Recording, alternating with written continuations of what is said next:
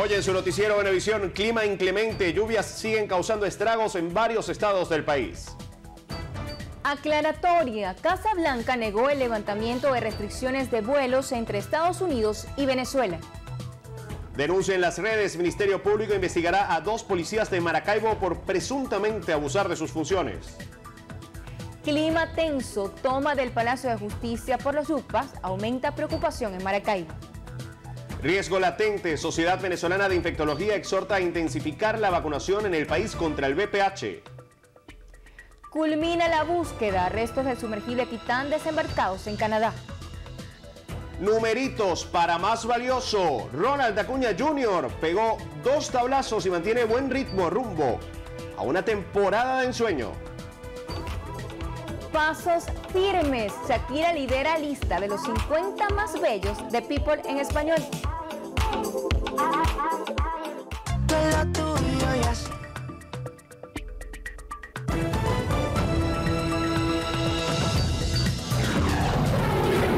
Noticiero Venevisión. ¿Qué tal amigos? Muy buenas noches. Bienvenidos a la emisión estelar de su noticiero Venevisión. Qué gusto que nos acompañen durante esta hora de información de inmediato lo que es noticia en Venezuela y el mundo. Comenzamos.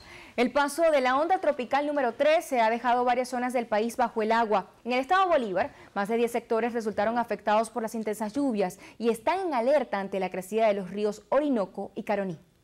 La señora Josefina Escobar, de la calle Constitución del sector La Laja, asegura que cuando llueve crece la quebrada y deben salir de sus casas por temor a ser arrastrados por la corriente. Casi la quebrada se llevó una familia completa. Esta familia estaba en la calle 19 de abril. Gracias a la, pronta solución de los vecinos pudimos sacar a esa familia. Este, la, familia de la negada de este lado, la gente perdió casi sus su, su, corotos, lo perdieron. Yo fui afectada y aquí nadie se acercó a ver cuál es la problemática que tuvimos nosotros. La lluvia de anoche, todos los vecinos tuvimos que salir a las calles porque la quebrada creció muchísimo. Temen que se desaten enfermedades endémicas que afecten a grandes y pequeños. Dengue, paludismo, ¿ah? Eh, diarrea para los niños. Y entonces, desde que, desde que estaba Belín Barceló, en la, Servicio Patriótico no se le hace un mantenimiento, son 13 años. Quienes habitan en esta comunidad reiteran el llamado de atención a las autoridades para que inicien un plan de mantenimiento para evitar situaciones de riesgo. En Bolívar, Enderson Pérez, Noticiero Venevisión. La situación se replicó en Cojedes, donde al menos cuatro municipios de la entidad registraron daños por los fuertes aguaceros. En San Carlos, las autoridades reportaron daños en La Mapora, San Ramón, Barro Negro, Los Jardines y Monseñor Padilla, donde productores perdieron sus cosechas debido al desborde del canal de la Yaguara en uno de sus tramos. En el municipio Tinaco, la comunidad de San Luis sufrió la crecida de su quebrada, inundando a más de 10 casas, lo mismo que en Corozal, donde seis viviendas sufrieron daños y familias perdieron enseres. En la troncal 005 se reportaron pequeños deslizamientos de tierra, en Ricaurte la caída de árboles y la crecida de varios afluentes. Los bomberos y protección civil se encuentran monitoreando el nivel de los ríos y caños, especialmente el Tirgua y la Yaguara. De igual manera, el denominado Comando Unificado de Lluvias también está desplegado en los nueve municipios de la entidad. Desde Cojedes, Héctor Nuno González, Noticiero Venevisión. Mientras que en Miranda se desbordó el río San Pedro en Los Teques. Según habitantes de la zona, la fuerza del agua superó una falla de borde a la altura de la curva Alzamuro y el sector Andrés Bello, tras las fuertes precipitaciones registradas el martes. Funcionarios del Cuerpo de Bomberos y Protección Civil están monitoreando la zona para atender a la comunidad. En 23% se han reducido los delitos en todo el país, así lo aseguró el vicepresidente sectorial de Seguridad Ciudadana y Paz, Remigio Ceballos Ichazo, quien también informó que los accidentes viales disminuyeron 36%. Estamos aquí con nuestra unidad de la Policía Nacional Bolivariana para hacer una inspección general por todo el país, pero especialmente aquí en la capital. Cabe destacar que nosotros hemos garantizado una reducción para la fecha en el acumulado histórico de una reducción del 23% de los delitos a nivel nacional, de todo tipo de delitos. Y en cuanto a los accidentes viales, una reducción del 36% a nivel nacional. Vamos a seguir los esfuerzos. Es la orden permanente de nuestro presidente, Nicolás Maduro Moro, la gran política de seguridad ciudadana, la gran misión cuadrantes de paz. Ceballos también anunció la detención de tres sujetos por presuntamente accionar armas de fuego durante una fiesta en la parroquia Antímano, aquí en Caracas. La Casa Blanca desmintió las informaciones sobre el levantamiento de restricciones de vuelos entre Estados Unidos y Venezuela. Un portavoz del Consejo de Seguridad Nacional del gobierno de Joe Biden confirmó que sí hay una autorización de vuelo por parte de la Administración Federal de Aviación, la cual permite a los operadores civiles norteamericanos usar el espacio aéreo venezolano si es necesario para desviarse de manera segura. Sin embargo, esto no quiere decir que se vayan a restablecer las rutas aéreas entre ambos países. Por su parte, Humberto Figuera, presidente de la Asociación de Líneas Aéreas de Venezuela, ALA, ratificó que la medida corresponde a una razón comercial, que es darle un margen de rendimiento de combustible y tiempo a las líneas aéreas norteamericanas, más no incluye cancelar la prohibición de vuelos directos al país. Recordemos que Venezuela no tiene vuelos directos con Estados Unidos desde el año 2019. Gabriela Jiménez, vicepresidenta sectorial de Ciencia, Tecnología, Educación y Salud, planteó la integración entre los países latinoamericanos para desarrollar proyectos científicos de manera conjunta para beneficiar a los habitantes de la región. Ministros y ministras de Ciencia y Tecnología e Innovación de los 33 países de la CELAC participaron en un encuentro aquí en Caracas. Somos 660 millones de habitantes, más de un tercio somos mujeres y jóvenes, hay toda una iniciativa que nos permita fortalecer nuestras propias capacidades de juventud y ciencia, de mujer, perspectiva de género en la ciencia. Y después se iniciaron las siete mesas de trabajo que son áreas fundamentales para la región, como tiene que ver la ciencia aplicada hacia la soberanía agroalimentaria, garantizar la producción de alimentos en la región sanos, seguros en términos de soberanía. Ciencia en la atención a las nuevas pandemias y desafíos, resistencia a drogas, todo lo que tiene que ver con las enfermedades reemergentes que estamos encontrando, ejemplo el dengue eh, tenemos también ciencia aplicada a la ética y a la inteligencia artificial, todo lo que viene transformando la inteligencia artificial, la transformación digital, la vida, la cotidianidad, la educación, la producción, la economía. Durante la reunión de los ministros de Ciencia, Tecnología e Innovación de la Comunidad Económica de América Latina, Gabriela Jiménez informó que en la actualidad Cuba tiene mayor capacidad instalada para producir vacunas. El fiscal general de la República, Tarek William Saab, informó que serán investigados dos funcionarios policiales de Maracaibo por abusar de sus funciones y causarle daños a la bicicleta de un ciudadano. A través de su cuenta en Twitter, Saab detalló que se designó a la Fiscalía 45 de Derechos Humanos para investigar la situación que fue reportada en video por redes sociales y que captaron el momento en que los funcionarios de Poli Maracaibo, al parecer intencionalmente, le habrían quitado las válvulas o gusanillos a los tres cartuchos de la carrucha de un ciudadano para vaciarlos y ocasionar que éste no pudiera trasladarse. El candidato a la elección primaria de la oposición, Enrique Capriles, pidió a la Comisión Nacional de Primaria reunirse con todos los postulados el próximo 5 de julio. A través de su cuenta en Twitter, el dirigente político solicitó a la comisión convocar a un encuentro a los 14 admitidos al proceso electoral con motivo de ser una fecha especial para el país por celebrarse la independencia de Venezuela. Hasta el momento la comisión no ha respondido a la solicitud de Capriles, pero se espera que del 27 al 29 de junio se realice un proceso de impugnaciones de las candidaturas. Continuamos con más información. Tres industrias de la Fuerza Armada Nacional Bolivariana recibieron el certificado de calidad ISO 9000. Así lo informó Vladimir Padrino López, vicepresidente sectorial de Soberanía Política, Seguridad y Paz. El ministro Padrino López encabezó el acto de certificación de calidad ISO 9000.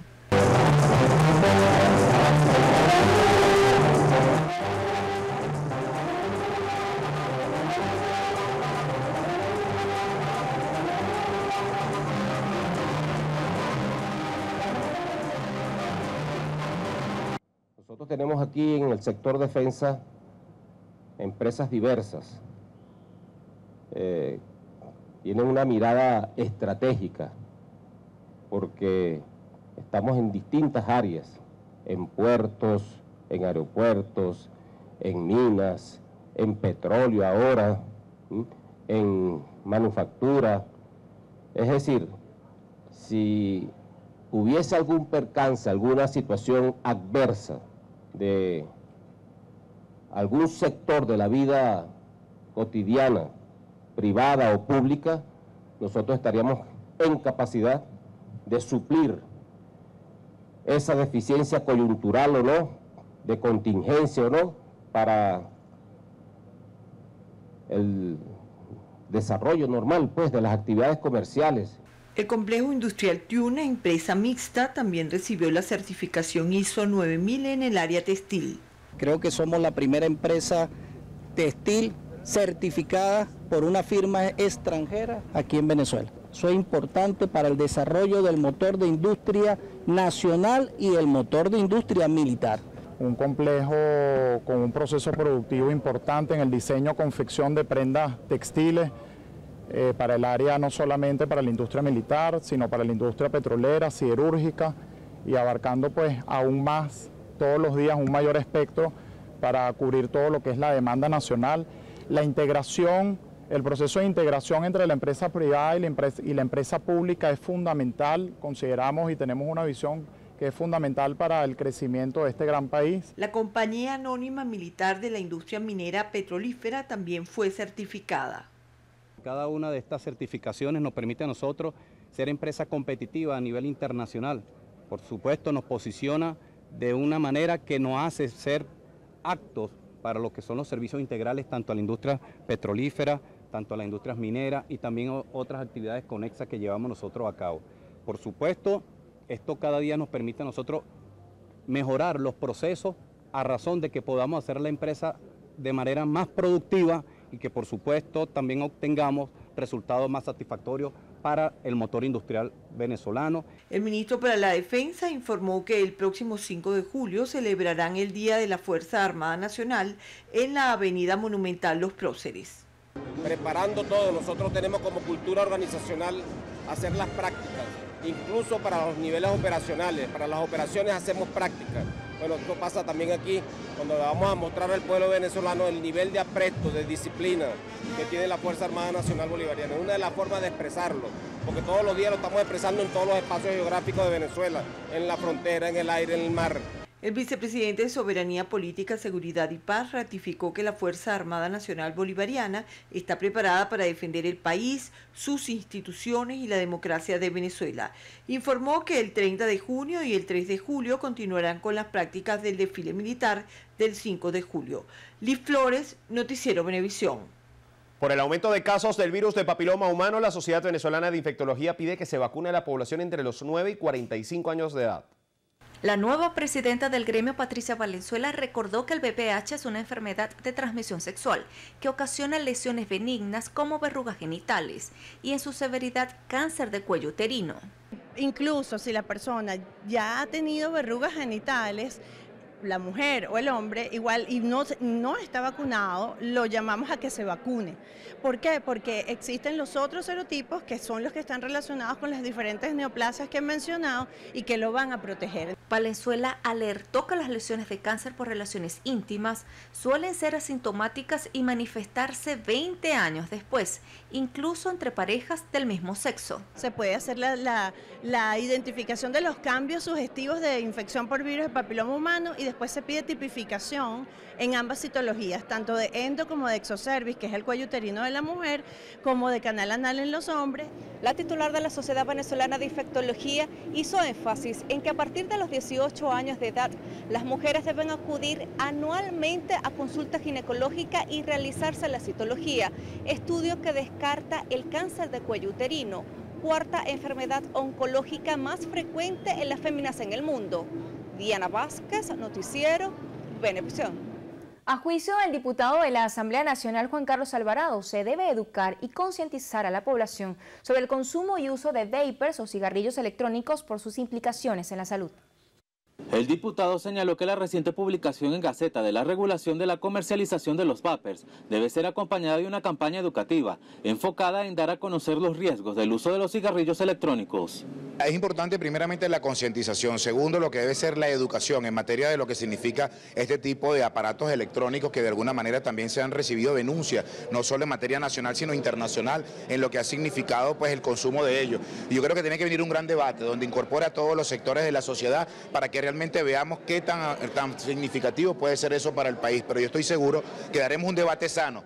Las declaraciones las ofreció durante el acto de reconocimiento a instituciones privadas y públicas del municipio Carrizal con motivo al Día Internacional contra el Tráfico Ilícito y el Abuso de Estupefacientes. Hoy quisimos reconocerle la labor que vienen dándonos, el apoyo que nos viene dando tanto empresas privadas como educativas eh, aquí en el municipio. Nosotros, hoy se conmemora 36 años de que Naciones Unidas emitió el decreto en referencia al Día Internacional contra el Consumo consumo eh, y tráfico de drogas. Las autoridades locales del municipio de Los Altos Mirandinos destacaron que a través de la Oficina Municipal Antidroga se han juramentado unos 1.200 preventores educativos y comunitarios. De Altos Visión, Alberto Rebeto, Noticiero Venevisión.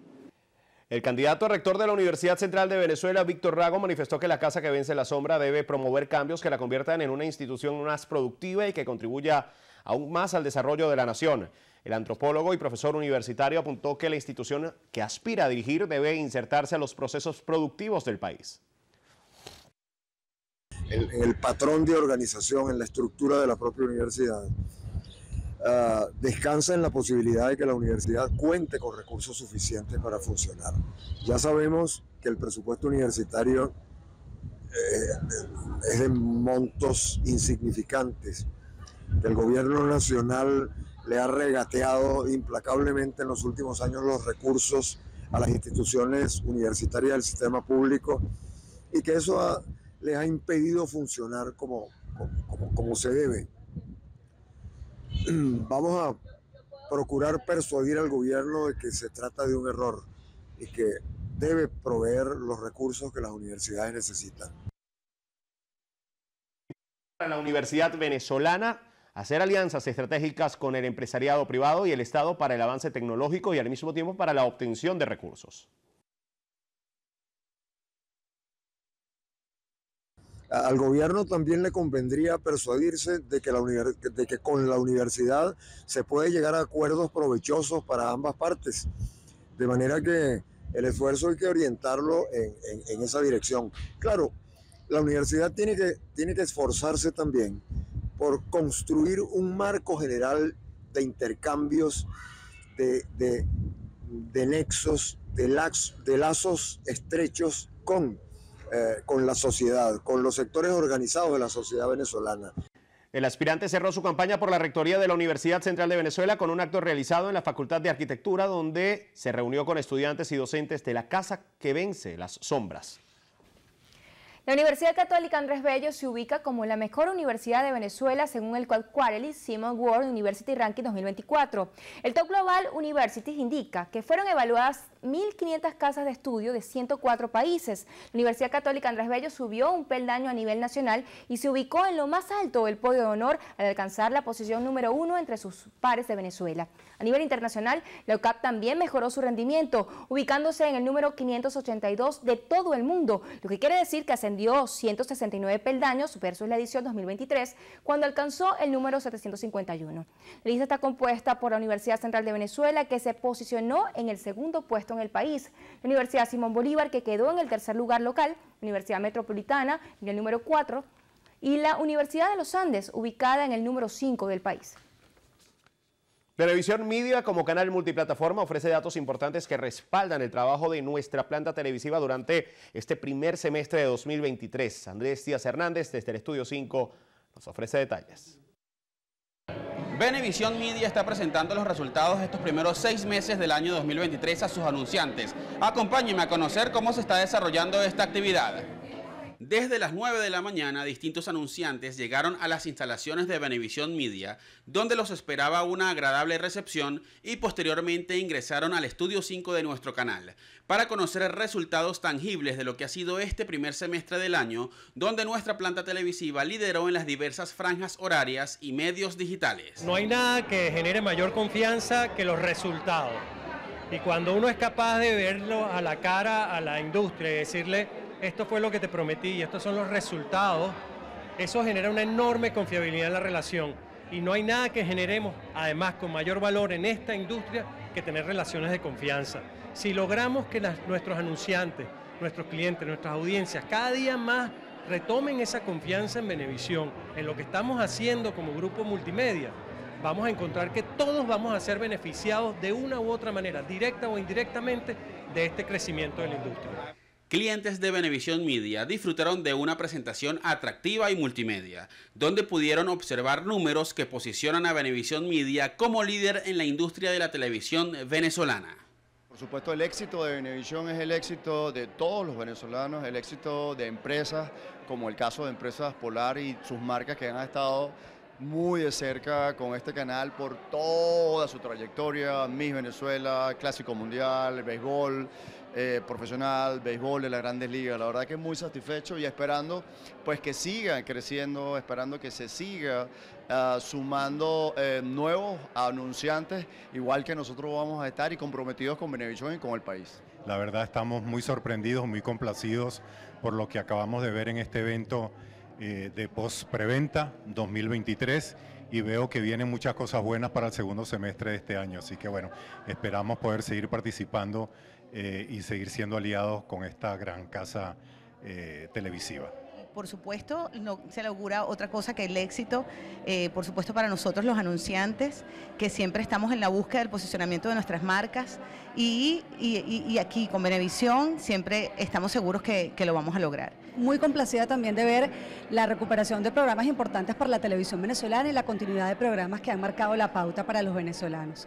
Esperamos con ello pues posicionar a nuestras marcas y estar más cerca cada vez de los televidentes encantada de acompañar al canal, a Venevisión, en lo que son sus resultados y en esta posventa maravillosa que nos muestra lo que se está haciendo en el país y el esfuerzo de un canal de televisión por estar en Venezuela, hacer las cosas de manera excelente y nos mostraron todo lo que viene. Así que invito a los anunciantes y a las agencias a conocer la oferta de Venevisión y pues acompañarlos en sus pantallas. Los asistentes de esta posventa Venevisión valoraron de manera positiva los nuevos contenidos que están al aire de Venevisión Media y los próximos proyectos que se van a estrenar, catalogándolos como pioneros en la televisión venezolana. Andrés Díaz Hernández, Noticiero Venevisión. Gregorio, promesas cumplidas y compromiso permanente. Y los que vendrán, ya lo decís, los, los que vendrá en 2023, en la segundo semestre de 2023 es mucho mejor. Así que bueno, gracias a nuestros anunciantes que creyeron con nosotros, creyeron en nosotros para esta primera parte. Hacemos nuestra primera pausa. Al regreso, más noticias, no se parten, que volvemos en pocos minutos.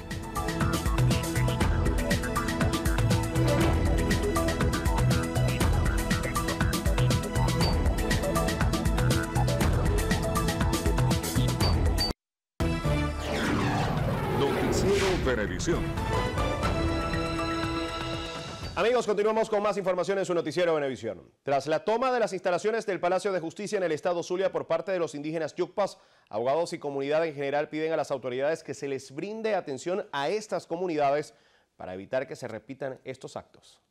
Tras la detención de varios indígenas, las protestas por parte de los Yucpas se han intensificado. Este 27 de junio tomaron la sede del Palacio de Justicia exigiendo la liberación inmediata de sus paisanos, situación que generó preocupación entre abogados y quienes asistieron a los tribunales. Los mecanismos de protección hacia ellos y las entidades que deben protegerlos no ejercen sus facultades, no. Entonces resulta que eso trae como consecuencia esos actos de violencia que ustedes ven. Ahora bien, ellos no pueden cometer actos, vamos a decir, de sabotaje Mm, prácticamente trancando vías, rompiendo las, instalaciones, porque eso es contrario a la ley. Tienen derecho a protestar, pero no pueden tampoco violar los derechos de las demás personas. Mi derecho llega hasta donde está tu derecho. No puedo traspasar tu derecho. Soy malo, está mal. ¿Por qué, señora? Porque es una injusticia como ellos porque tienen que ejercer su derecho de esa forma. Durante la mañana de este miércoles, las puertas del Palacio de Justicia fueron cerradas cerca de las 10 a.m. Además, fue reforzada la seguridad. Sin embargo, no se logró obtener información sobre las causas que originaron el cierre y si tomarán otras medidas. Desde el estado Zulia Soto, Noticiero Venevisión. Transportistas de más de 52 líneas entre interurbanas y suburbanas del terminal de Puerto La Cruz reportan baja movilización de pasajeros, así como las dificultades para acceder al combustible. Temen que no puedan realizar los viajes por la falta del carburante. Los conductores señalan que el número de pasajeros que se trasladan desde la terminal es inferior al del año pasado. Por lo general salen 20, 22 unidades interurbanas diarias y la afluencia de pasajeros de algunos 500 a 600 personas están viajando diario de nuestro terminal.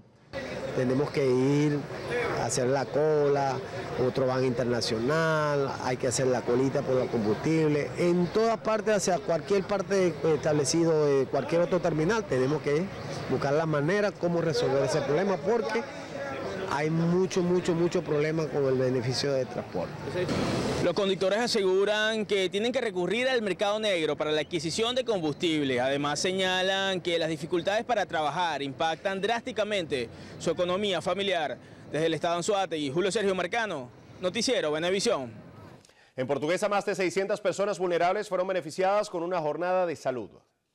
El barrio Sol de Justicia de Guanare fue seleccionado para la realización de esta macro jornada médico-odontológica tras evaluar la condición de vulnerabilidad de más de 600 personas, reuniendo a diversas organizaciones humanitarias y religiosas para brindar una decena de especialidades médicas de manera gratuita.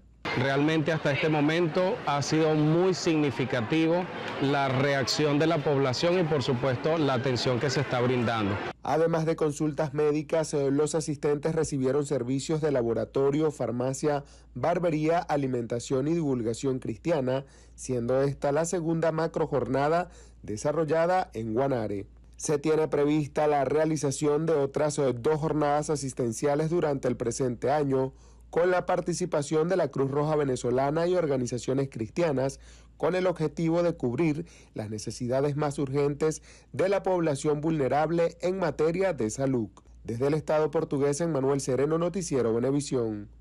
La Sociedad Anticacerosa de Venezuela, la Alcaldía de Mariño y distintas ONG lograron activar un convenio para asistir cada 21 días a la unidad oncológica del Hospital Luis Ortega de Porlamar, doctor Modesto Rivero González, ante la falta de especialistas en la región.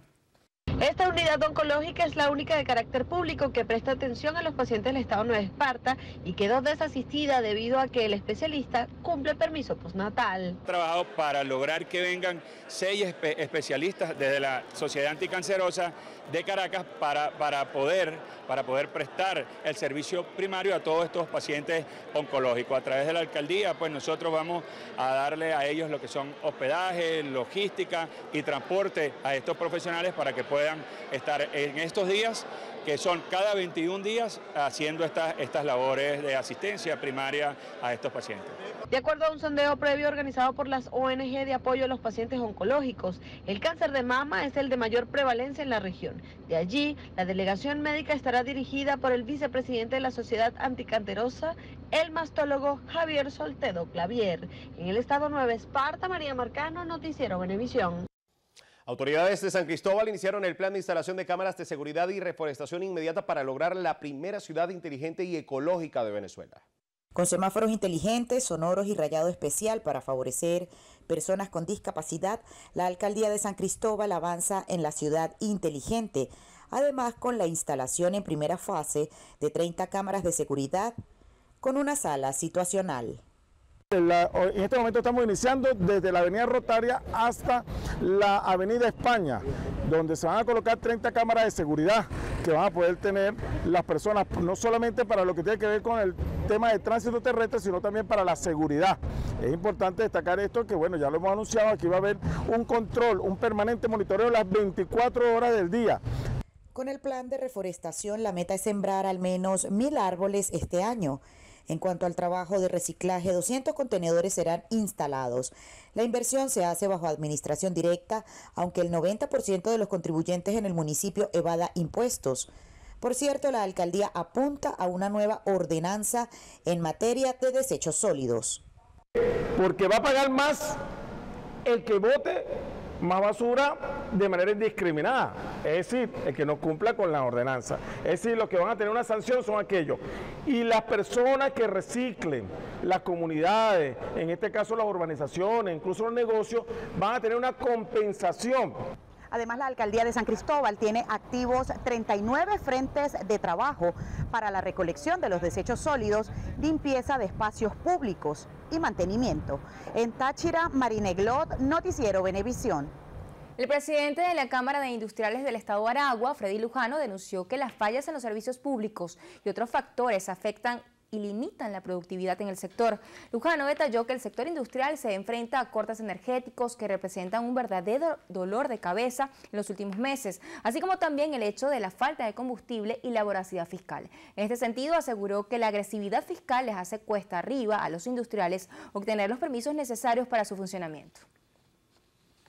Al sur de Valencia fue inaugurada una microplanta de gas doméstico con el objetivo de beneficiar a más de 20, 36 mil habitantes. La nueva infraestructura está ubicada en el sector Santa Eduige de la parroquia Miguel Peña de la capital carabobeña. Tiene una capacidad de recarga de 750 cilindros por día, favoreciendo a más de 36 mil habitantes de la zona sur.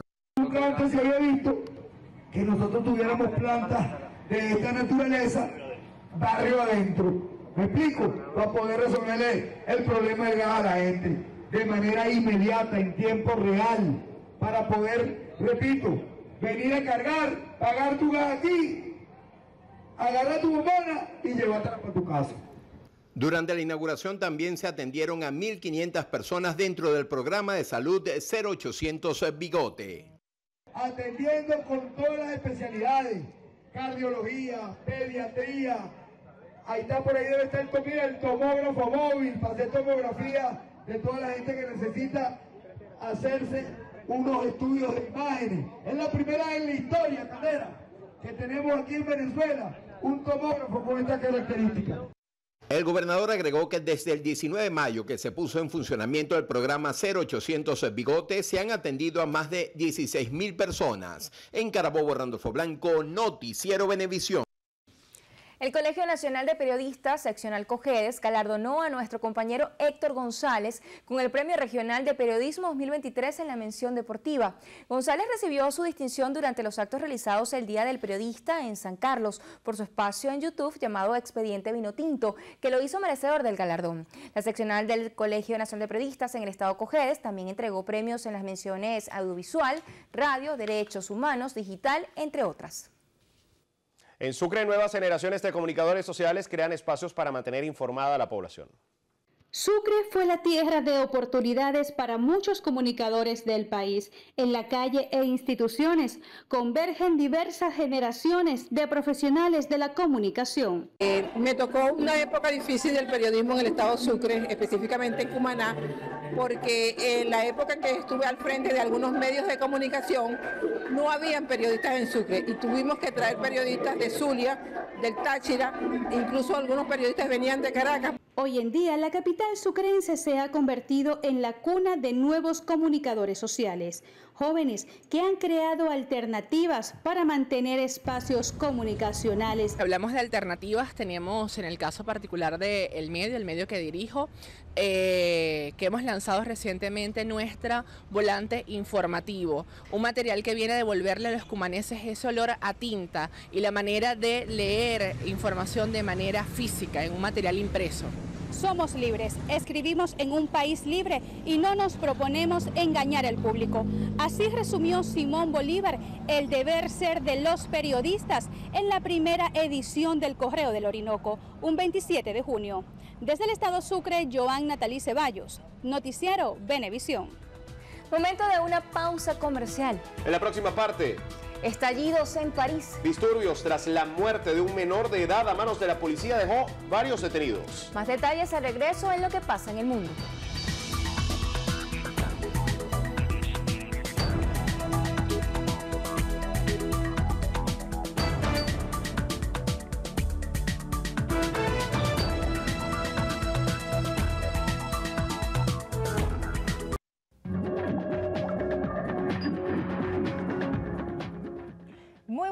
Noches. A esta hora comenzamos a revisar la información internacional en lo que pasa en el mundo. Los restos del sumergible Titán, que implosionó el pasado 18 de junio cuando descendía hacia el Titanic con cinco personas a bordo, ya fueron recuperados y depositados en el puerto de San Juan de Terranova, en Canadá. El barco Horizon Arctic obtuvo las grandes piezas del fondo del Atlántico mediante un vehículo operado de forma remota. Entre las imágenes publicadas se puede observar intacta la proa de la embarcación, una pieza semiesférica gris con un pequeño ojo de buey por el que los ocupantes podían observar el exterior. Otra pieza es una zona de grandes dimensiones de lo que parece ser la maquinaria situada en la parte trasera del vehículo. Autoridades ya han iniciado investigaciones para determinar las circunstancias del accidente. Occidente. Una noche de altercado se registró este martes en la periferia de París tras la muerte de un menor de 17 años por disparos de la policía. El joven, que tenía antecedentes, conducía sin carnet y después de ser detenido por una pareja de oficiales, trató de escapar con su vehículo y fue allí cuando recibió el disparo. Las fuerzas del orden detuvieron a 24 personas por participar en los disturbios que se produjeron en Nanterre, donde ocurrió la muerte del menor, así como en otras ciudades. Los involucrados incendiaron 42 vehículos y maquinaria de obras. En Ucrania, al menos 10 personas fallecieron y más de 60 resultaron heridas en un ataque con misiles perpetrado anoche por las fuerzas rusas en el centro de la ciudad de Kramatorsk. Entre las víctimas mortales hay una menor de 17 años de edad y dos hermanas de 14. Uno de los heridos es un bebé de 8 meses cuya vida no corre peligro.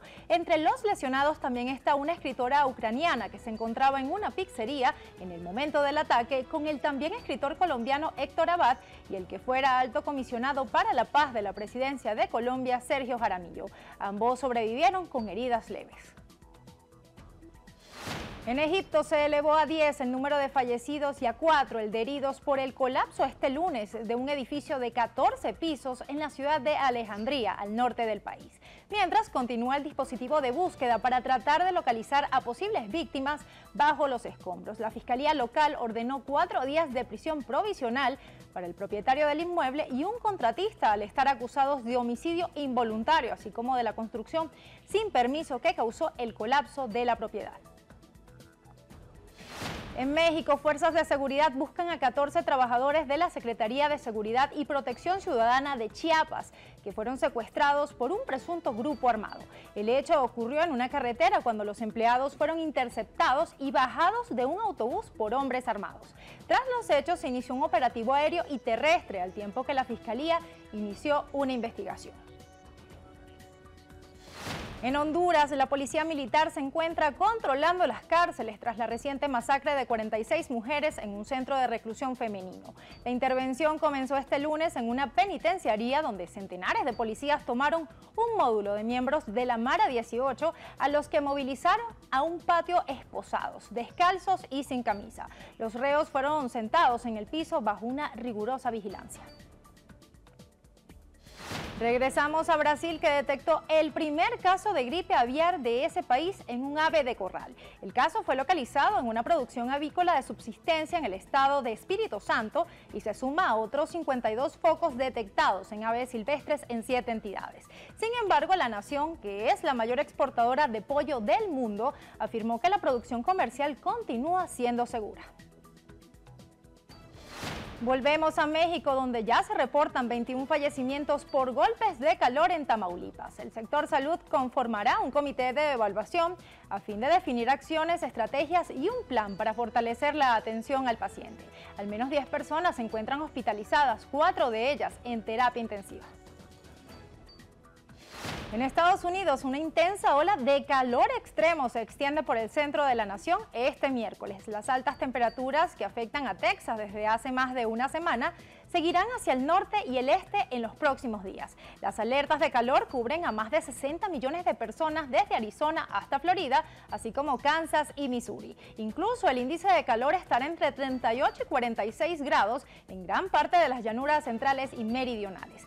Ya este martes se reportaron varios récords, como en un aeropuerto de Houston con 37 grados, en Laredo con 42.7 grados y en El Río con 43.3 grados. En Arabia Saudita, los casi 2 millones de musulmanes que han acudido este año a la peregrinación mayor a la Meca realizaron los rituales que ponen fin al Hajj, uno de los cinco pilares del Islam.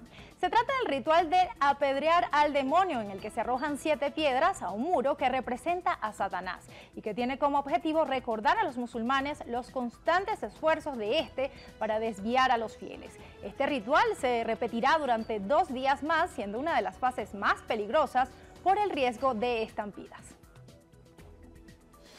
Y en Corea del Sur, desde hoy, casi 52 millones de personas ya son uno o dos años más jóvenes. Esto se debe a que la nación eliminó su sistema de conteo tradicional para la edad a nivel administrativo y adoptó de manera universal el sistema internacional, lo que reduce la edad de sus ciudadanos en algunos documentos oficiales. En virtud del sistema tradicional, toda persona ya tenía un año al nacer. Además, todos los ciudadanos, independientemente de su fecha de nacimiento, cumplían un año automáticamente cada primero de enero. Incendios en Canadá llega a Galicia. El humo de los intensos incendios de Canadá llegó a Galicia este mes de junio. Las partículas de los incendios han recorrido alrededor de 5.000 kilómetros las capas más altas de la atmósfera. El conocido jet stream, una corriente de aire en altura, es capaz de trasladar esa nube a miles de kilómetros, dijo Carlos Otero, meteorólogo de Meteo Galicia. Según el experto, las partículas de humo generan una reducción ligera de la visibilidad, pero no afecta la calidad del aire. Canadá lleva varias semanas sufriendo las consecuencias de más de 400 focos activos que han quemado más de 5.2 millones de hectáreas. Y con esta información cerramos nuestro recorrido internacional en lo que pasa en el mundo. Y ahora pasamos a conocer recomendaciones de salud para los cuidados de los recién nacidos. Nuestra compañera Diana Vázquez nos cuenta más en una nueva entrega de Vida y Salud.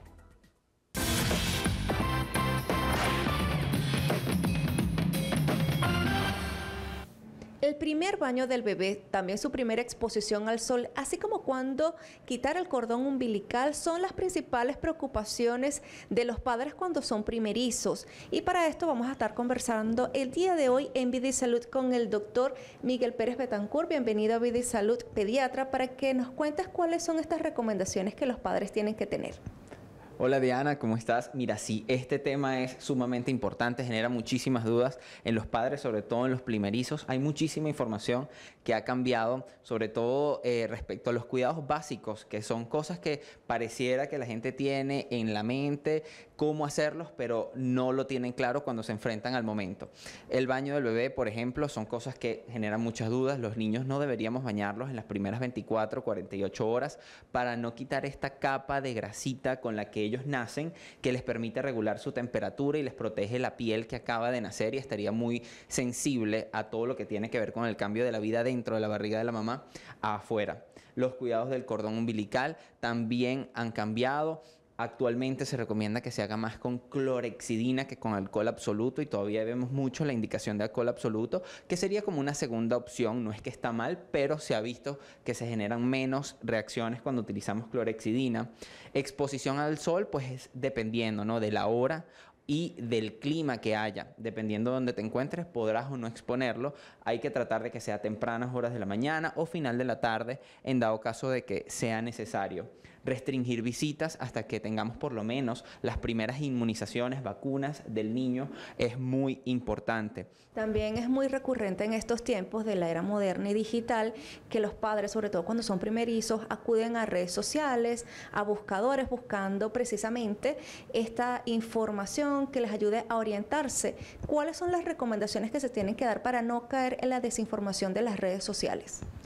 Buscar fuentes confiables, donde te digan de dónde están sacando la información. Por ejemplo, fuentes, blogs eh, en el que hablen de que la fuente de información es la Academia Americana de Pediatría, la Asociación Española de Pediatría, sociedades reconocidas latinoamericanas, que son las que se encargarían de hacer los estudios y decir que la recomendación es esa porque está demostrado que es la mejor. O seguir, en dado caso, profesionales de la salud que tú sepas que están certificados en el área de la pediatría y que te van a dar un consejo con base científica. Gracias, doctor Miguel, por todas sus recomendaciones para los padres primerizos que están viendo vida y salud. Siempre tienen que buscar la información de primera mano, en este caso los especialistas en el área de pediatría. Soy Diana Vázquez y con esto me despido hasta una próxima entrega de Vida y Salud.